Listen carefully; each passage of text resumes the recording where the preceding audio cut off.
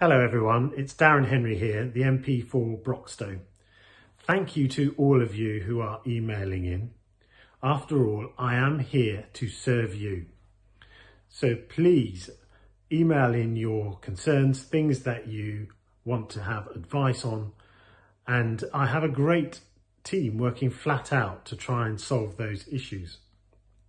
I would be grateful though if when you email in, you give your name and your full residential address and be really clear about what matter it is you want me to look into for you. And then we'll get to work on your case.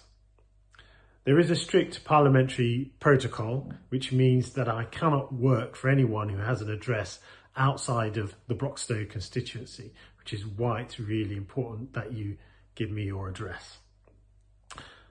We do try and give you a response as fast as possible, but sometimes with the hundreds of emails that we've got coming in at the moment, some can take up to 10 days, but we will prioritise and work as fast as possible on your behalf.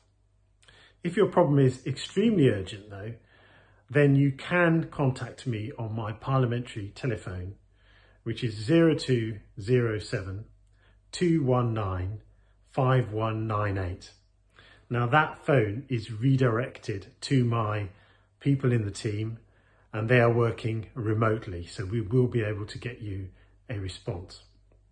And please remember once again, I am here to serve you.